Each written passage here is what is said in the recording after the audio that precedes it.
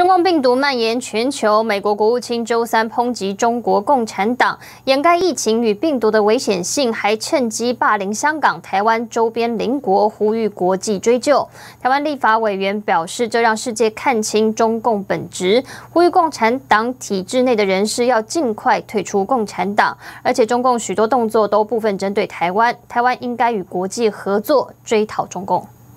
美国国务卿二十二号记者会指出，中国共产党趁着全球对抗病毒的危机，持续挑衅，违反就香港的国际承诺，军事施压台湾，霸凌邻国。蓬佩奥呼吁国际追究中共。What's taking place in Hong Kong, more amidst increased efforts by Beijing to erode autonomy, law enforcement authorities have arrested pro-democracy activists. The Chinese Communist Party is exerting military pressure on Taiwan and coercing its neighbors in the South China Sea, even going so far as to The United States strongly opposes China's bullying. We hope other nations will hold them to account too. 那对于美国政府支持我们台湾这件事情，我们表达感谢之意。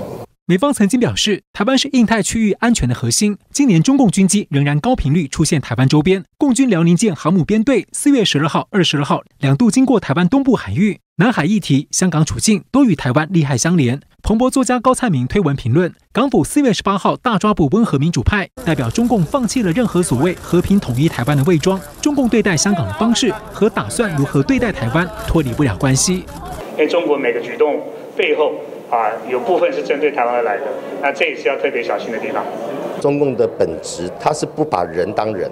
如果还在共产党体制内的人，赶快想清楚。有人性不应该再待在共产党里面，该退就退。台湾的国会议员指出，中共的行径更让世界看清楚中共本质。台湾应该和国际合力追究中共。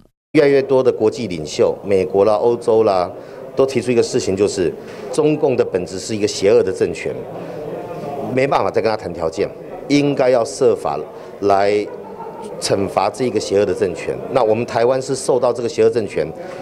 威胁跟伤害最重的哈，我们不止乐见，我们应该也要参与这一个追讨的一个活动。新唐亚太电视，高建伦、曾义豪、张东旭，台湾台北报道。